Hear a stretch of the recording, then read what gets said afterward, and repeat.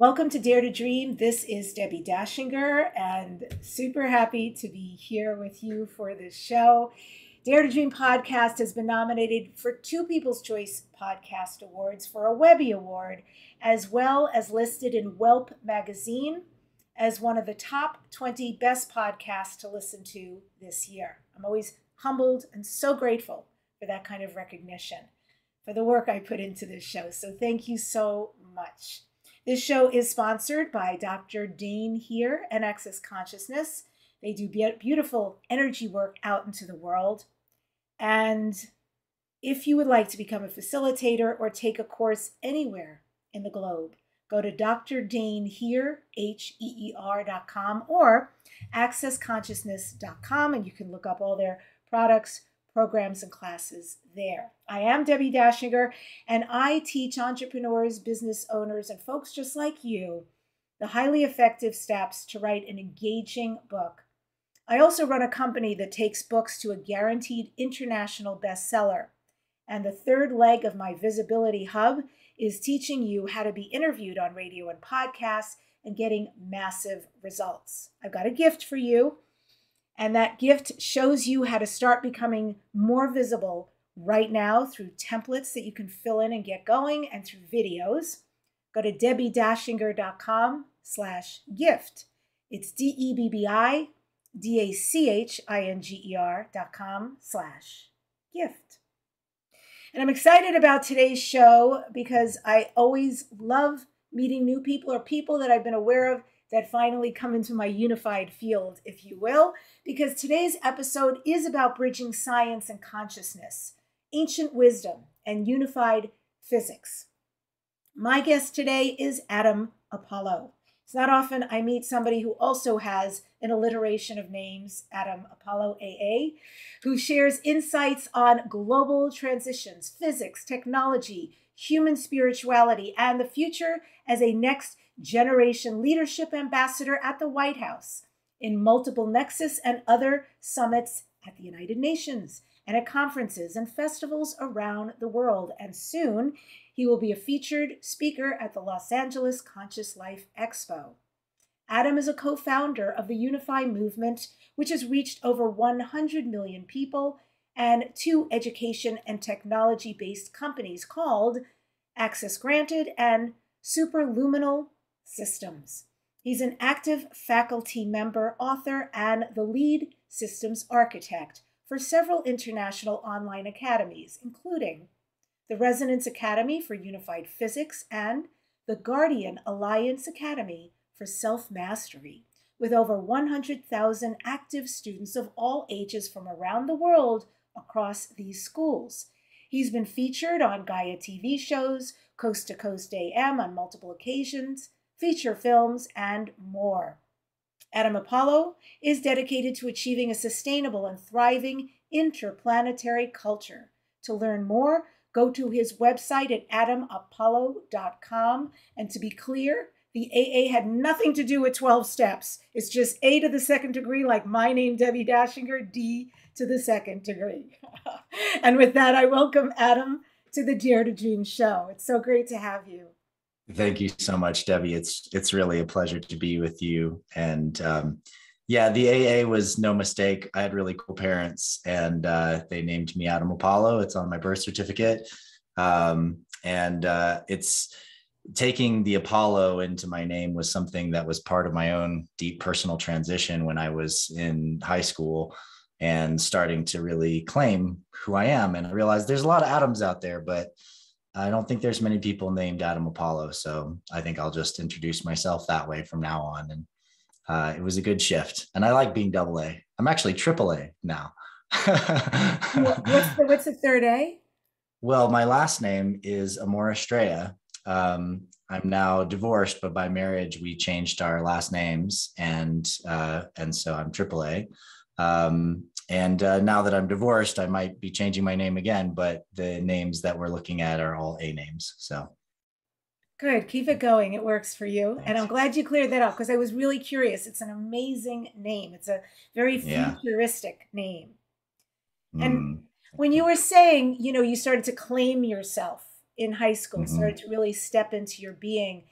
tell me about that because you know, you really are a very futuristic guy. The way you do business, the way you show up in the world, the way you dress, you know, all the mm-hmm. elements of you feel sort of this worldly and otherworldly, which I like.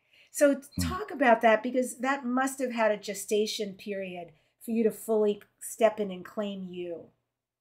Yeah, it really was um, really in the range of 1995 to 2005 was really that big arc of my personal transformation and claiming of who I am and and getting used to owning and acknowledging the reality that um, we as beings are not just isolated to this time or these bodies, but we have been on a long journey. And for me, that journey really started when I discovered that I have a human energy field. And I realized that the energy around my body is responsive to my consciousness. And getting in touch with that opened up so many doors for me because I'll be honest with you, Debbi, and and the audience. I was really depressed when I was in middle school. I uh, there were times I thought about killing myself. There were um, I'd been through a lot. I'd lost family members to death, and gone went through this massive um, portal of self transformation where I really just didn't know what was true anymore. I didn't know what was real. I didn't know why I was here or what it was about. And these few simple experiments that led me to discovering that I have this tangible field that would move with my intention and that I could use to locate objects blindfolded and that I could use to do martial arts blindfolded um, with my friends really was like unlocking a door in my consciousness that opened up this vast realm of possibilities. And and I was completely stunned that no one in school had ever taught me about this that there was no teacher that there was no class teaching about the vital force around the human body. And the deeper I dove into that, the more I realized there's a serious problem in our educational structure and in our academic institutions because the most foundational thing, which is actually our own field, our own vibratory field, is not even being acknowledged. I mean, we talk about the body radiating heat, we talk about electromagnetism, we talk about the quantum field, but there was literally nothing to describe what consciousness is, how it moves around the body, and how we are actually connected to things. I mean, even the idea that in physics, entanglement is something that we just think about happening between atoms, but we never associate to our natural psychological processes. Wow, I was like, this is a massive problem. And so I became, uh, frankly, somewhat obsessed with the study of theoretical physics, um, metaphysics, and the stories of ancient cultures because I realized that all of these different cultures around the world already talked about this. They used this fundamental field for healing, for calling in the rain, for speaking and communing with nature, for entangling with each other magically, um, and, and building connections, you know, through mythology and through history and through time. And somehow all of that was missing from our cultural context in the present age. And, and that, um, that journey eventually led me to not only the discovery of my own lifetimes on earth but eventually to realize that I am not from this planet mm-hmm. and that originally I came here from another world. And that idea blew my mind again. The idea that some of us might not even be from Earth, that we could have come from somewhere else, that some of the ancient wisdom and knowledge of languages and mathematics and things like that might actually be galactic and not just based here. Um, talk about a context changer and a game changer for how you relate to the world and to society, and also how you relate to the potential that we can achieve in the future. So you have this revolutionary experience, and you realize there is a field around me, and consciousness actually tells it what it's going to do and create, and you become obsessed with it and what happens what are some reference point reference point like moments where things you start to see this is working, something's happening here. I can utilize this, I can harness this. Mm. Yeah, I mean, honestly, the the amount of stories that I have from those days is wild, and I don't tell most of them very often because there were so many miraculous experiences and miraculous moments. But I, I, I can tell you that there were times where you know i was feeling a certain way and asking for a certain thing and wishing that i had a certain thing. And i just like breathed into that feeling. And then all of a sudden somebody walked up to me and offered me the exact thing i was asking for.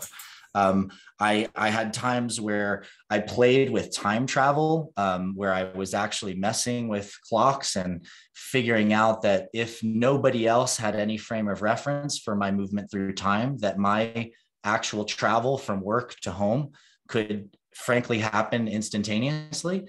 Um, and that was one that took me a, a long time to even process. And I'm not even sure I fully, even today, understand exactly how it worked, except for that I was meditating on the reality that as long as there were other cars and other people witnessing my movement, and I was moving within that collective field, then I would be within a relative time frame with everyone else.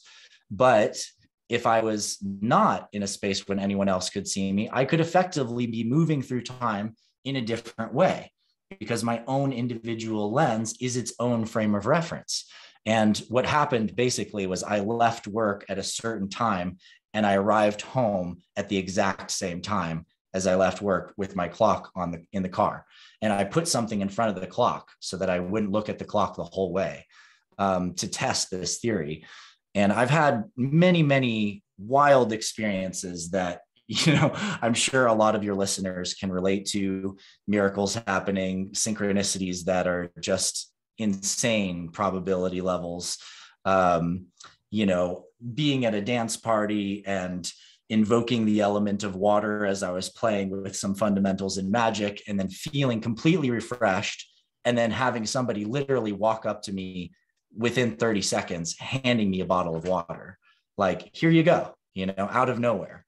Um, so there's there's a lot of amazing things. And since i've refined that work and realized that you know the magic of creation is not just about just you know tricks or making cool things happen or having cool experiences but is actually about uh, guiding the force of where your life goes and how you can be in service and what ways you can serve yourself and love yourself in terms of giving that service. So having a house that you feel really great about and comfortable in, you know, having a car that makes you feel really good and that drives well and that, you know, doesn't break down often. And, you know, having um, just basic things that that take care of us and that enable us to be more powerful in our service to society and to the world. And I think those things are worth manifesting for ourselves.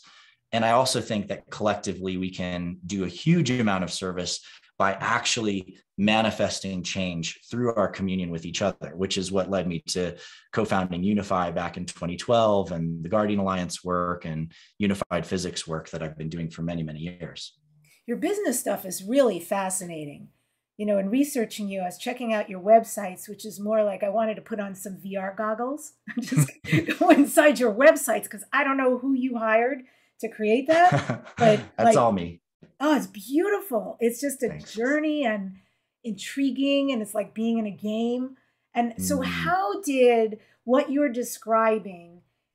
How how do you utilize that today to manifest mm. who you be out in the world? This you know, Burning Man guy, DJ, teacher, businessman, web guy, you know, creating new like media platforms and all that. Mm-hmm. How how does that come up for you? Where do the ideas come from? How do you know how to manifest them, or do you just use this field in order to channel and let things come to you? Mm-hmm. Yeah, well, you know, a lot of my interests and my work in the world are really just about my own loves and passions. You know, I, I love music. So I, I had a friend who went to Mexico when I was 18 in 1999, and he left his turntables and a bunch of vinyl with me. And I just fell in love with mixing music and realizing I could take this amazing work that somebody else has created and I can create a journey out of it. I can create new experiences out of that. So I've always loved to be a DJ. Um, and and sets of music, I think, really can tell a story uh, about an emotional story. They can tell a mental story that can empower us. You know, the sets that I create are designed to help shift energy in different ways and or deal with emotional energy in different ways and they've been deep medicine for me and i really made them for myself um, but I, I enjoy sharing them with others and i love it when others check them out and listen to them you guys listening in i have a soundcloud slash adam apollo or on my website you can you know go and find all my music and download all my sets. They're all free and, and open and available to people.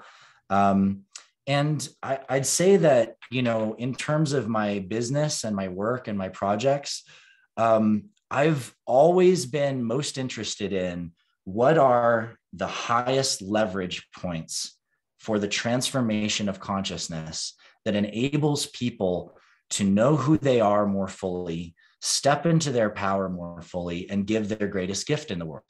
Because I honestly believe that if people all have the level of freedom in their consciousness, sovereignty from uh, let's say invasive programming and and from traumas and from things like that when they've liberated themselves from the the field of the pain and the challenges they've gone through and the kind of collective pressures that they may be under and they begin to actually tap into that wellspring of magic within them and the gift inside of them to give to the world i believe that if everybody could just do that we would have an incredibly peaceful, thriving, advancing society where we'd have a huge amount of collective collaboration, connection.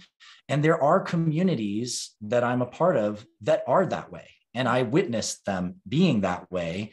Um, and yet, everyone these days has to face the reality that there are still invasive programs that can come in and sideswipe us and tell us this is good, this is bad. You know, if you do this, you're okay and you're a normal member of society. And if you don't, you're you're a bad member of society. And I caution and warn people that any divisive programs like that are really temporary, for one thing.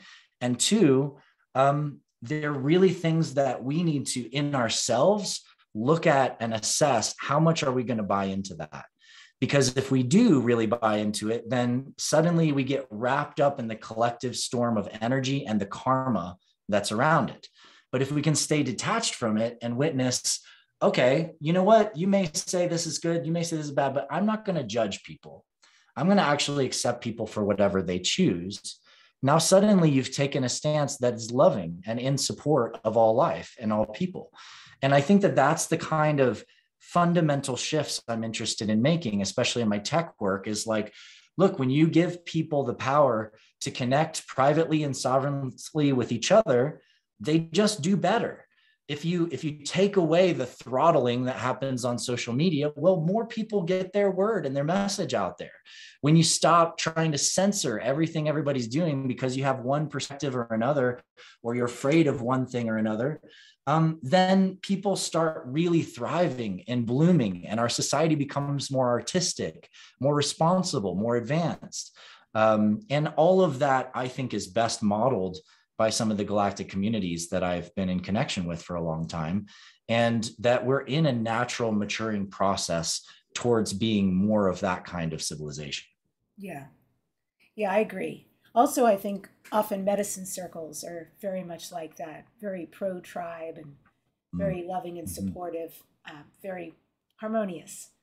So, you yeah. mentioned past lives and you mentioned that you discovered that you had come from another planet. And it's my understanding that we actually all are basically this genetic material from other planets. What did you discover about your extraterrestrial connection?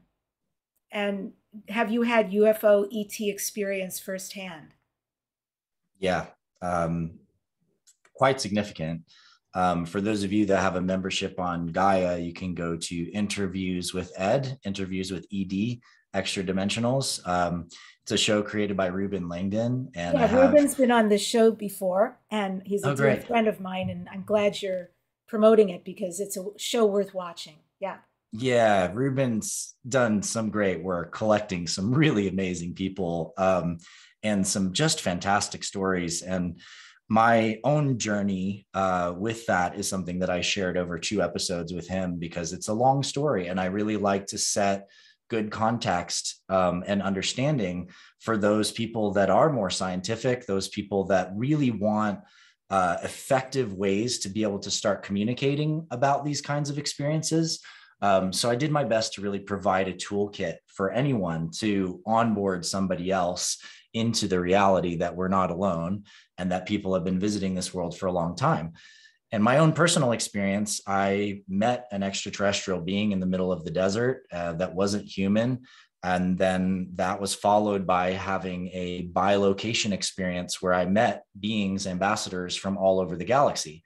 And this encounter fundamentally changed my life. But what was most fascinating about it is that in the moment, it wasn't surprising at all because I had just gotten connected into in myself to the reality that I realized and remembered that I wasn't from this world. And I, I remembered the sister that I had that I came to this planet with, um, my Sirian sister, who was a partner for a time in this life and when I was in college, and who I remembered many of my lifetimes with. And it was truly a healing journey. And I think that for a lot of people, um, there's a pivot that needs to occur to really deepen your experience of contact and or connection in these ways. And that pivot is about moving from the state where you're looking for it as some kind of phenomenology like prove to me that you exist you know show me something cool in the sky and moving to more about a deep curiosity about who you are and where you're from and who your connections are and who are these beings and why are they here and why have they come here and so i pulled that thread personally and as i did that um, i began to discover that there is literally records of contact with different extraterrestrial beings throughout our history going back as far as our history goes mm-hmm. um, and and then literally found uh, through friends of mine like Robert Schoch and Graham Hancock and uh, Nassim Haramein, who's a close friend of mine and I worked with on the Resonance Academy and built that with him um, and others, that, you know, all of these different places around the world with evidence around these connections also point to a civilization that existed before the flood, a pre cataclysmic civilization and a civilization that was frankly advanced technologically in ways that we are not with the capacity to move multi you know 100 ton stones and cut them with laser sharp precision uh, things that it would have taken you know a freight train sized turntable and a two story tall diamond saw to create somehow they created, moved in position, and brought the stone from 100 miles away to do so. And these kinds of things, engineering wise, now are ridiculously hard challenges to overcome with cranes and trains and massive things to build machines. And clearly, we have no evidence of those machines from then. And so, what we know is that there was this highly advanced civilization, that there was clearly connection with other star systems all over the world. And we have even DNA and, uh, and skeletal evidence and mummified remains that prove that some of those connections existed. Hmm. Do you think that you're a hybrid? I've been here uh, since the time that many call Atlantis, which was just before the end of the last ice age. And at that time, um, I was born into a society that was hybridized between Sirians and humans. Um, and my own work in exploring that has showed me that it's likely that a lot of our major racial divisions on this planet are actually due to hybridizations with different extraterrestrial species who are very similar to us, by the way. We're not talking grays with crazy eyes and big heads and, you know, or super eight foot tall, long armed beings and the kinds of things that have been popularized mostly by disinformation campaigns in our government, but also because some of those species do exist. Um, but beings that literally you could walk down the street right next to and you wouldn't even realize that it wasn't a human you know, especially if they had their ears covered or or whatever. And um, and in in my own exploration of this, uh, what I've found is that I have incarnated into many many different races throughout my lifetimes on Earth, but I have in some ways maintained some amount of my appearance and some amount of my own soul genome in that process. Mm. And this led me to really inquire deeper into the nature of DNA and realized uh, through my studies in genetics that it seems clear that we're not just merging our uh, paternal and maternal lines, in other words, our mother and father DNA lines, but we are also adding a third trinity codex to those lines. And that third codex is actually DNA that is the information structure of our soul's incarnation cycle. And so we're literally bringing through our genetics and our DNA, merging into our mother and father lines, our own soul spiritual DNA. And that shows up differently for everyone. But I've been able to identify that you can tell in the way that someone looks and in the way they've embodied into their current genetics you can tell if they have genetics that have come from another star system because there are very specific qualities that have been sort of programmed into their genetics because they grew up around a different star. And each star has its own very particular frequency bands. And each planet around each star also has its own particular living structures and, and bands of energy. And that shapes the soul, so to speak. Mm, very interesting. I definitely know I have, have Lyran or Lyrian, definitely from the planet Lyra. Because yeah, I see uh, that in you. Yeah, exactly. People say it all the time. And so I'm also heavily into music and I have a band, I sing, and we do mm. um, music as medicine.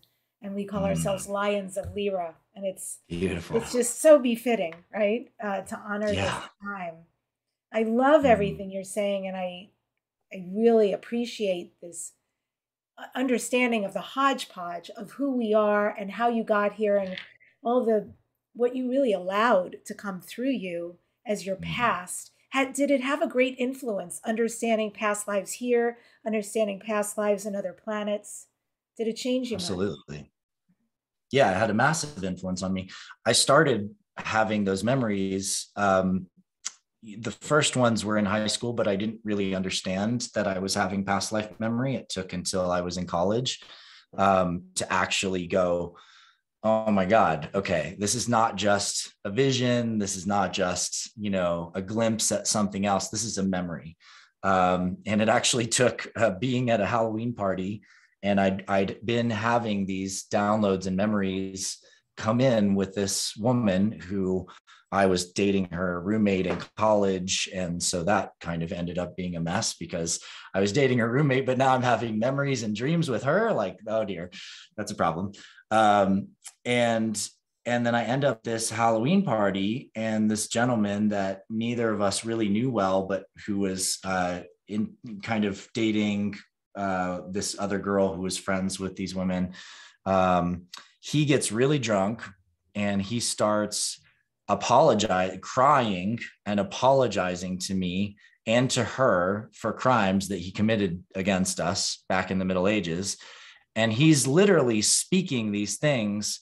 And as he's saying them i i'm having full visceral experiences of the pain of the anger of what i, I didn't know this guy.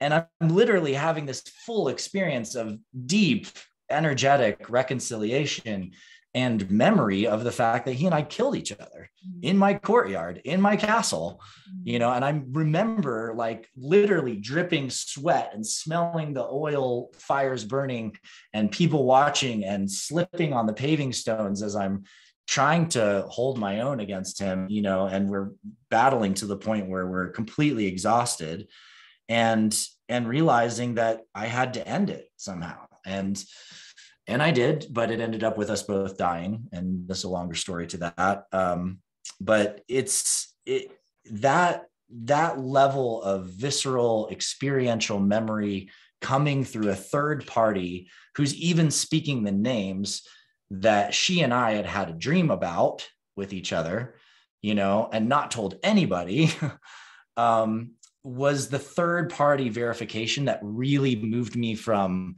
this is a phenomenon I'm experiencing to this is something I need to study scientifically and I need to approach from a psychological perspective in that way. Um, and I began really exploring it and adventuring within it. And what I found was the answer to a ton of questions I had. Like, why was I always into swords since I was a tiny little kid? And why is it that every time I picked up a sword, I felt like I already knew how to use it? And I, I knew how to move it around my body. And why did I have certain skills and certain knowledge? And how did I know about these different geometries when I was 15 and I start downloading a library of sacred geometries with all their magical applications. It's like somehow I've got this huge book of alchemy and and magic and elementals and and creation systems like inside my head. Like where'd that come from? And and it, the answer was that well, I'd been refining these practices and this knowledge and these abilities and these interests and these skills for thousands of years. And you know, I, I, I often say to people if you spent 30 years in another lifetime mastering a particular skill, why would you start over from scratch now? Wouldn't you want to remember and reclaim that? Absolutely. And then suddenly it just clicks for people. It's like, oh, yeah, those things that you're just naturally so good at, and you have no idea why you're so good at it. Well, it's because you've already done it for a long time. Um, and you're just remembering you're just bringing back into your body, remembering in your body um, how to operate with that portion of your consciousness. Gosh, yeah. So I want to take this as a segue into the idea of exactly what you're saying, which is ancient wisdom, unified mm. physics, because I know you've said that there are intersections between mm-hmm. consciousness, between magic, between the philosophies of ancient cultures and the science of unified physics of space time.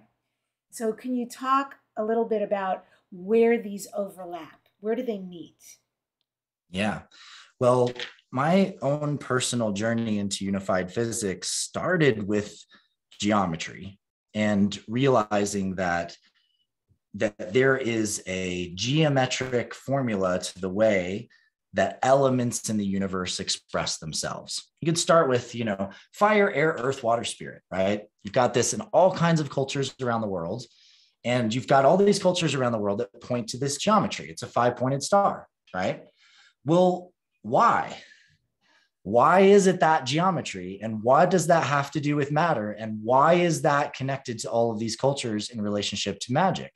Well, I discovered over time as I studied this that if you start to look at space-time as this energetic fabric that that is highly energetic and has a level of tensegrity within itself. That's a Buckminster Fuller term, meaning that each point, each node in this fabric of energy has a strong push, radiation, and it also has a strong pull, attraction. And so it's pushing and pulling off of each other right? Now, what happens is that you start to get this sort of natural unfolding of geometry. Now, I was studying this work called Loop Quantum Gravity with this guy, Lee Smolin, who wrote this great book called Three Roads to Quantum Gravity. And I was uh, 17, I think, at the time when I was really deep in that one. And and he he literally had solved some of the first equations for how gravity works at the quantum scale but they didn't understand.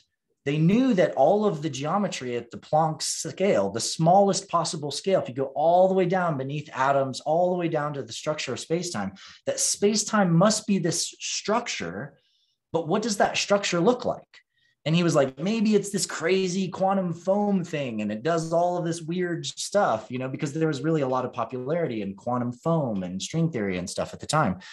And i looked at it and i was like no the geometry that's underlying space-time is going to be geometry that we see fractally represented at all other scales including in our own consciousness. And i got into buckminster fuller and i realized through bucky's work that the same way that an, a high tensegrity structure, which is basically all triangles, the same way that a structure like that curves, which is a pentagon, is the same mechanism that creates curvature in space-time. And I realized that the five-pointed star, that pentagram, that thing that you know all these cultures say is like how they create or talk to the winds or connect to the elements the physical elements of reality. I realized that that very geometry is the geometry that gravity comes from. It's what enables gravity. And more importantly it's what enables mass to exist. In other words when you follow that all the way through you realize that every atom is full of protons and neutrons, as we call them, right? But they're literally all protons, and protons are what make mass. Protons is what gives us the weight of our bottles. It's what gives us the lightness of the air. It's what gives us the different densities of the elements that we see comes from the weight of the, the atomic core, what's going on in the proton. And the only way a proton can even exist as a little sphere of energy is because of those five pointed stars. That's actually what allows space time to curve itself into a bundle that gives you a proton. And so these ancient cultures had the key for how mass is created, how physical world, the world we live in is created. They were already had it and we just didn't know it we didn't realize it and i began to realize this was in high school i began to realize that every one of these things that we call sacred geometries the flower of life pattern the mm-hmm. five pointed star the seven pointed star the heptagon um, these geometries are not just sacred in terms of their patterns and consciousness and the way they show up with numbers and the ways that they've been used across ancient cultures throughout time, but they're actually the foundational geometries for the physics of space time itself. They are the unifying factor to space time physics.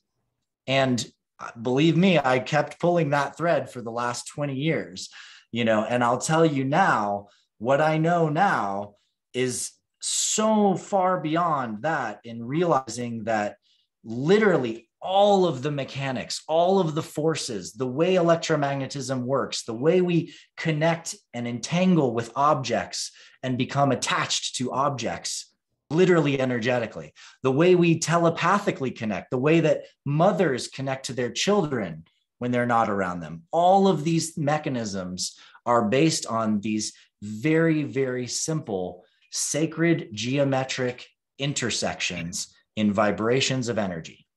Beautiful. So, one of your focuses is on practical magical applications for daily life. Yeah. So, let's take where you are right now and let's dive a little bit into the sacred heart of magic itself. Can you mm. share mm. some practical magical applications that we can use? For yeah, sure. Absolutely. So, when you realize that these geometries are not just important to our consciousness and the way that our consciousness operates, but they actually connect us to space time. Um, and the mechanism for that being the chakras. The chakras are literally vibrational geometric gateways in our body that are like interface plugins to the structure of space. So just like on your computer, you've got a power cable, you've got an audio cable that's running your headset, you know, you've got uh, you know, maybe a USB-C cable that's connecting to a hard drive. Each of those different cables is designed with a geometry that lets it move energy of a certain kind in a certain way.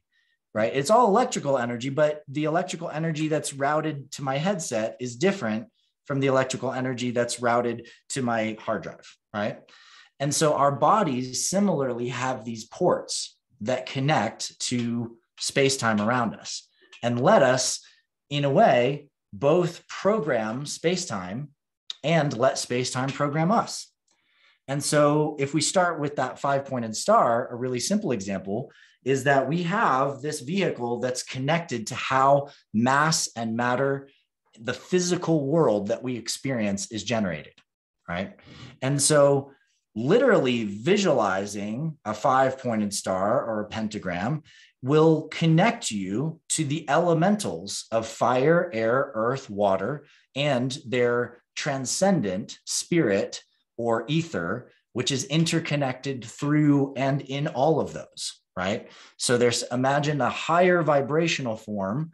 In other words, there's energy itself, and then there's how energy moves when it's in a state of fire, or how energy moves when it's in a state of water, or energy moves in earth. And so, you know, as simple as invoking how energy moves as fire into your own body will warm up your body temperature. Invoking the way energy moves as water into your own body will cause you to salivate. It's happening right now. and and and actually help your body recognize its own nourishment. You may even start to sweat if you invoke a lot of water and a lot of fire at the same time, because you're heating your body and creating a, a, connection to water. Now, you can also not just invoke those in your body, but communicate to the world around you with those invocations, which is what Druids and Nordic Magi and others have done for thousands of years when they go to ask for rain when they go to try to calm the fires in the land when they go to to intersect with things. And there's alchemy principles for each one of the elements that you can learn and develop use of in order to relate to life and space better. Now there's also you know simple applications of boundary conditions you can create with this as well and this is what i like to call you know developing your event horizon or warding um, for example, you know, one of the oldest practical applications of the five pointed star was to visualize it in a circle around you and say, I choose to only allow those physical things which serve my highest and best good to enter this circle. And I'm choosing for anything else to be outside of this circle. Now, if you practically apply this, and I've done it many times, you can put that around your car, and it'll actually help make sure that your system and your relationship to space time is responsive in such a way that if a car swerves into your lane, you will literally feel it and move with the energy of it so that the barrier that you've put around the car is maintained between you and that object. It's actually a feedback system. So your body and your own intentional creation reinforces your relationship to space time around you. Now, also, the six pointed star, the hexagon, has many, many, many kinds of uses. Um, the most practical of which, for me, on a regular basis, is actually just clearing when I have a really heavy emotion that's taking over my process. So, what I do is I actually visualize the six pointed star um, and I place a color on each of the points. So instead of fire, question. air, earth, and water, go so, ahead. Excuse me. So, folks who I know folks are going to be interested in this. Yeah. When you say the six pointed star specifically, is this like the Star of David? Uh, yeah, sure. That's one name for it. It's it's called a hexagram. I mean, it's just a fundamental geometry. Uh, hexagram or hexagon uh, either of those things are fine. So it's basically six points evenly distributed in a circle. The same as with the five pointed star, the pentagram is five points equally distributed in a circle. So you want balance, equilateral distribution. And what I see is the colors on each one of those points. It's basically the color wheel that you learned about in school, right? So you have red, orange, yellow, green, blue, and purple. And this makes for this nice balanced energy of the spectrum. And what I realized is that every emotion is a combination of vibrations that have a certain note or a certain frequency hmm. right so so if you're you're not sure what the heck you're feeling it's because you're feeling some passion and some elation and you're feeling some of something else and it's all convoluted together but when you feel in your feeling body this circle around you and you start to feel red and feel orange and feel yellow and feel green and blue and purple, then what happens is inside of your own consciousness vehicle, you start separating out all of that mixed up funk all out into this beautiful, clear geometry, this clear circle of energies. And you can actually feel exactly what each feeling is. And you're now in the center point, you're in the white light in the middle. And so you're coming from this place of stillness of unity, of wholeness, and you're able to now uh, sort of pull apart all of the emotional energies and see them for what they are and where they came from. Do the colors, do the different points actually speak to you and give you information that helps assist your process? Oh yeah, definitely. And I I'd say that what I notice most in this practice is that as I go and I'm like feeling red, feeling orange, feeling yellow, feeling green, as I'm meditating on each of the colors, I'll notice that some are bright and some of them I, I can't see very well. Mm. And when I notice I can't see one or I'm not experiencing it very well, that's the one I focus on because then I'm bringing that that energy back up into my awareness and by enhancing that color and sort of balancing all of the colors together, suddenly now I find myself in this state of peace and equilibrium between all of those masses of energy. This is so great. I'm going to try this. That's yeah, very cool, practical magic. So, magic is part of your life on a daily basis. It is, but I don't think about it that way anymore. Um, nowadays, it's just like I just I just move with things, and there's a lot that I do intuitively. There's a lot that my subconscious takes care of now that I don't even consciously process anymore. Um, but but it's it's there's certainly a period as I got really good at it that I started noticing that things that used to be problems for me or that I struggled with a lot were just suddenly not anymore. And i i began to notice that i i i took on new challenges right?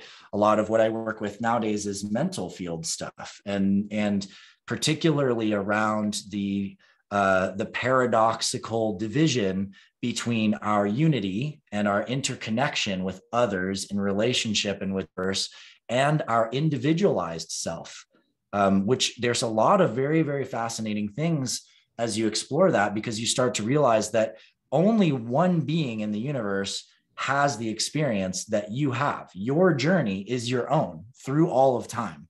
No one else has that journey. No one else has all those points of reference. However, other people do share experiences of energetic processes that are similar to what you've gone through or will go through. And the beauty of relationship is that each of our journeys gives us all different codes and hopefully we find ourselves coming into connection with others in the exact moments that we need the medicine that those people are bringing to us mm. and when you realize that you start to see the sort of mind of god might be one way to put it where you begin to realize that every event and every experience and every person brought to us is part of a teaching it's part of a self-reflection and it's part of our fundamental journey. And that can be extraordinarily powerful when we begin taking responsibility for that and begin actually looking for the meaning in all of our encounters. Yeah. I think this is really the time, some of the things you touch on, like Jedi training intensives and galactic mm-hmm. initiations.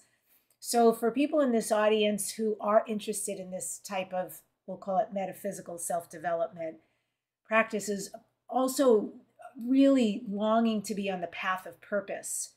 Mm. What are your recommendations for this? We are in a new year and beyond. What is it all about? Mm. What should we be looking for? And what are the new cutting edge and necessary components for us? Yeah. Well, being in the turning of a new year, I think that one of the things that I really like to emphasize for people is the importance and the power of creating a sovereign field around you. Hmm. The reality is that we're all mixed up in a mess of things. And some of us obsess over stories in the news and collective concerns and where's the world going to go? And are we going to be forced to do this or do that? And when we put a lot of mental energy into that, we also experience a lot of the intensity of the emotional swings that people are going through who are dealing with some serious issues right now. And all of us, all of us are empathic, whether we know it or not.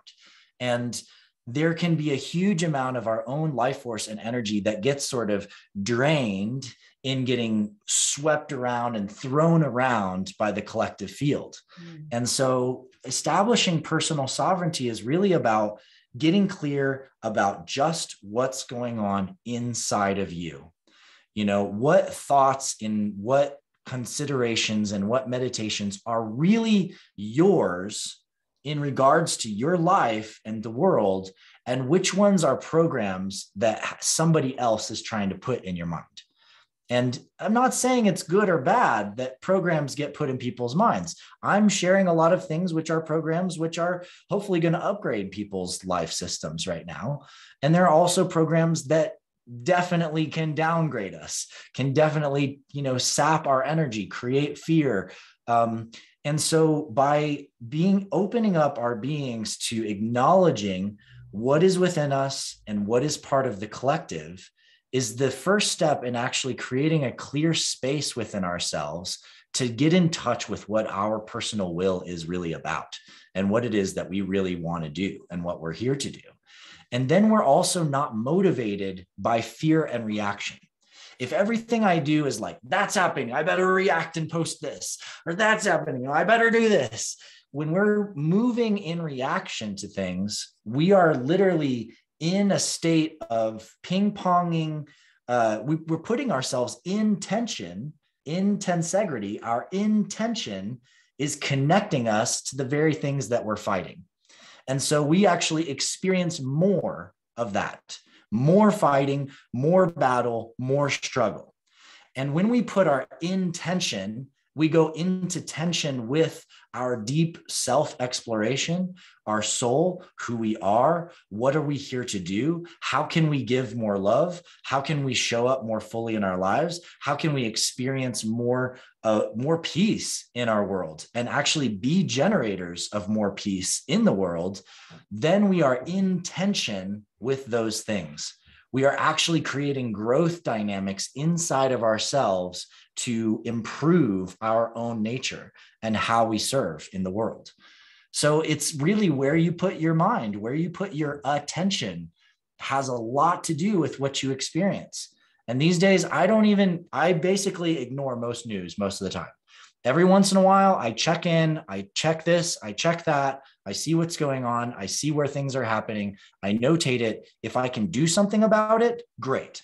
If I can't do anything about it, then what what worth does it have putting my attention on it because as long as i am i'm just experiencing it and i feel powerless to do anything about it so um, when you're in that inner state of intention and interconnection with who you are you have a more refined sense of what is where your power is. And that gives you purpose and what you can do. And then you begin to actually generate things that can help people. So like i felt really really personally um, powerless around a lot of things like health mandates and things like that that are going out. And so what i did is i spent some time looking at what am i working on and what am i doing that could actually make a change in this way and it ended up leading me down a rabbit hole where I discovered a particular type of trust that you can put your body in that literally exempts your body from statutory law. whether that's mandates or whatever else, any kind of statutory law, and restores your body as part of your common and natural law structure. And there's a few vehicles for that. And I have a video on YouTube. If you guys are interested, you can just look Invincible Trusts, and I talk about the whole thing and give a link to a course created by some really cool guys who did a huge amount of work and templated a lot of stuff but but that was my way and by actually just really focusing on how can i serve in this place that I'm really concerned for the collective around, then I found where my power was and I found purpose and I found invigoration in giving a gift that would support people in those areas. So that's an example application of this. That's a powerful example right now because there's a lot of people, including me, who will be very interested in seeing that.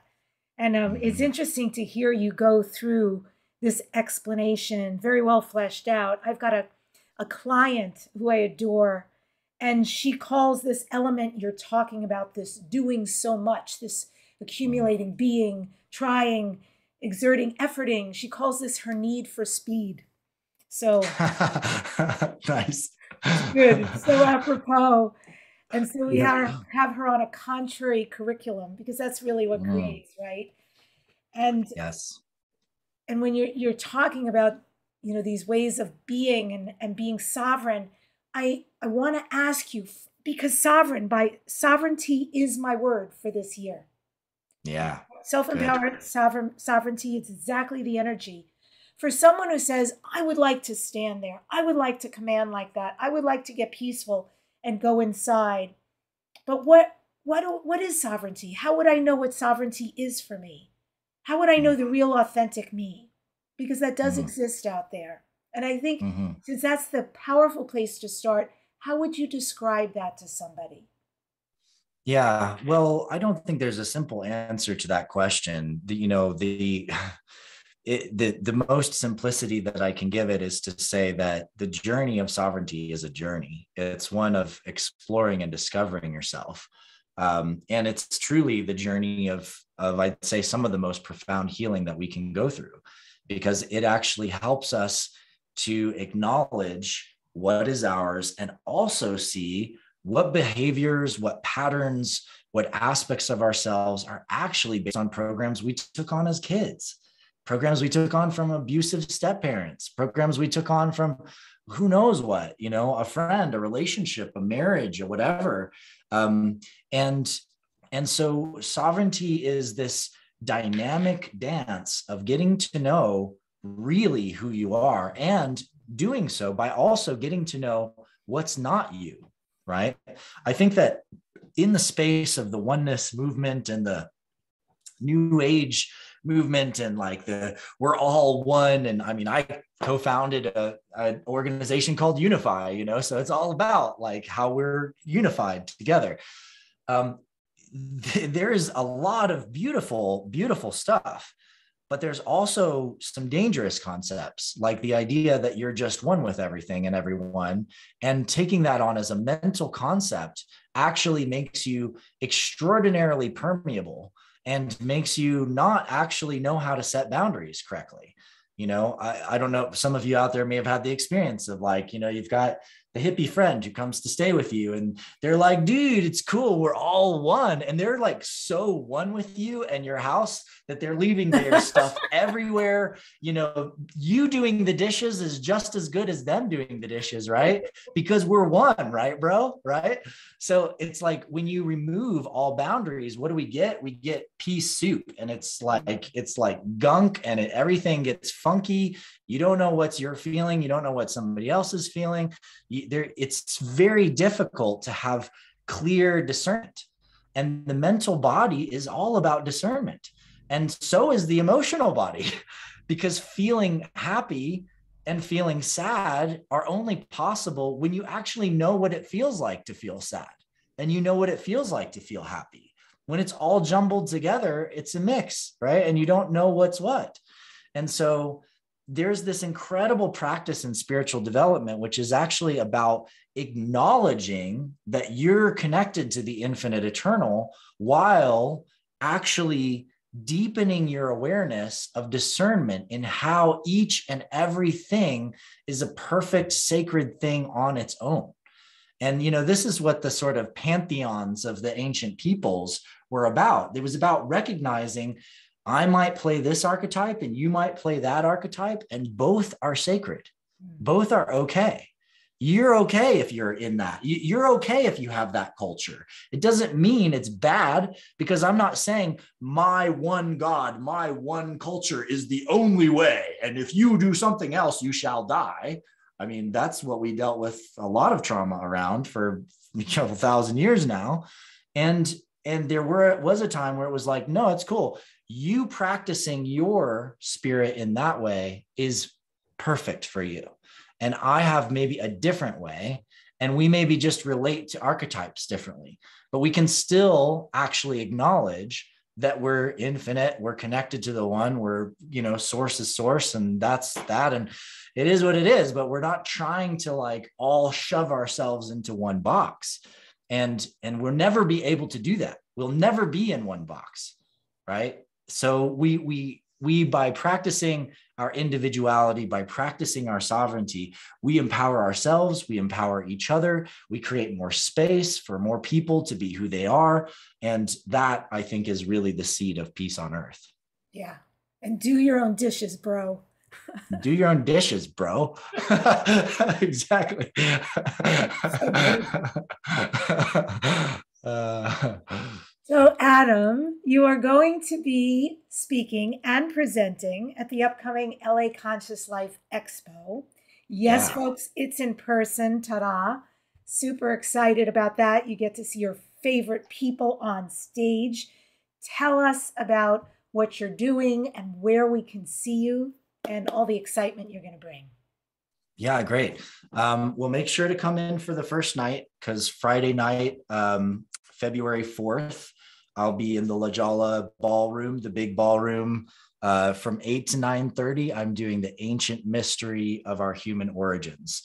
So the little seeds that i planted around you know where we've come from what's happened in different areas of the world what what evidence do we have of atlantis and ancient civilizations? I cover all of that and lead us all the way to star nation connections and archetypes and uh, really better understanding who the heck are we as human beings um, and then Saturday uh, at noon, I'll be in the George Noory Forum. Um, and that's from 12 to 2 in the Plaza Ballroom. And then uh, on Sunday, I'm on the conscious uh, cosmic consciousness panel, and that's also in the Plaza Ballroom. Um, and that's from five to seven. All of this is on consciouslifeexpo.com if you want to check it out. Um, and, you know, basically that panel is really exploring new theories of consciousness. I'll be sitting on there with some cool cats and mostly sharing my unified physics connections to consciousness for people to give them some tactical stuff to work with. Um, and, uh, and then on Monday, I'm doing a post conference workshop uh, from 2 to 4.30 and that workshop is on the galactic council. So i'll be literally talking through the intelligent synarchy of species that exist around the galaxy and help people to understand the nature of the relationships between species out there and how we can learn so much from these different advanced cultures in terms of how we can be better stewards of our own planet yeah, super exciting. I'm so glad you're joining this year. It's going to be you. amazing and so time. It's been a long time. I was in the Conscious Life Expo many years ago, but um, haven't attended in many years. So I'm, I'm very excited to be back and um, really, really glad that it's in person. I hope to connect with a lot of you there in person. That would be wonderful. Yeah. And folks who would like to go and you're listening to this and you live in a different country and it's logistically not possible, just know they also live stream. So you can go to that same website, laconsciouslifeexpo.com, and you can also get the live streaming. You can purchase it, and just like you're attending in person, you'll see everybody and get to experience what you like. Uh, Adam, this is Dare to Dream. So, what are you next Dare to Dream? What are your future dreams and goals? Mm. Well, right now I'm in the pipeline of creating some really amazing technology that uh, the first step is designed around creating infinite royalty trees within uh, the creation of what we call NFTs, but are actually just contracts um, to empower people to collaborate at much larger scales where people can instantly get paid upon the launch of a film, for example. And every person, the videographer, the director, the artists, the creators, all of them can get paid instantly as soon every time that film is rented. Um, or in art space, remix each other's arts, or in music, reach, remix each other's music, and have every person that was part of that creation path be able to get paid every time that music sells. So I'm creating that tech right now. Um, and it's part of the core economic system of this 3D social operating system that I'm building, which is basically like a Iron Man style spaceship dashboard for the metaverse that will let you access all of your networks from one place and have powerful peer to peer secure communications and be able to create any kind of digital products you want um, and sell courses and sell music and sell film and sell images and whatever right inside the field of your social network space. So that's my work. Um, and, and, I've been deep, deep in the process of uh, fundraising and building over the last year. Uh, and this year, we're going to be continuing to ramp up and we'll have some pretty awesome launches, hopefully, this year. So. And people can fi- find you at adamapollo.com, any place else you want to send them. Yeah, I mean, if you Google my name, you can find all kinds of places to find my work. Um, and uh, this bigger ARC project, uh, we've just been teasing just a little bit out there publicly about it. Uh, and you can learn more about that at core.network. Uh, we also just released some really, really cool NFTs called galacticnfts.com. Um, and they're very small, rare sets. We just released a whole Zodiac series that are this gorgeous art by this guy, Aphicles, Charlie Oriana. Um, and they're 12,000 by 12,000 pixels. So they're 144 million pixels, big enough to print in a five foot by five foot canvas. Um, and there's only a couple of each one. Um, but the, the Zodiac ones are, we're selling at low cost and um, hope to have some people come in and purchase those. And every every purchase of those nfts and trade of those nfts supports all of our technology building and all of our social social work um, because we're also building tech tech that serves homeless populations in developing vocation strategies and vocational skills to actually empower them to basically claim their lives back so we're we're in partnership with a couple organizations where we're doing really deep on the ground work with with homeless populations. Um, and so please come and support all of the work we're doing. And uh, I'd love to have you guys reach out if you have any questions and feel free to connect anywhere, anytime. Thanks so much for coming on the show today. It's been a pleasure. Thank you, Debbi. Such a pleasure and honor. I end today's show with this quote from Luke Skywalker, who said, Confronting fear is the destiny of the Jedi. Subscribe to this number one transformation conversation. And next week on Dare to Dream, I have two guests coming on Paola Harris and Jacques Vallée. I am so excited about this. Paola is an investigative reporter in the field of unified phenomena research and widely published author. Jacques Vallée, who you might remember was a Close Encounters. The French scientist was actually him. Uh, uh, was a portrayal of him and all of what he's done. And Jacques will join myself and Paola. Jacques won the Jules Verne Prize for writing. He's an astronomer with a PhD in artificial intelligence and a scientific consultant on unidentified flying objects. Thank you so much for joining us today. And remember, folks, you can be sovereign and you can employ some of the amazing magical tips that Adam shared today. Happy New Year.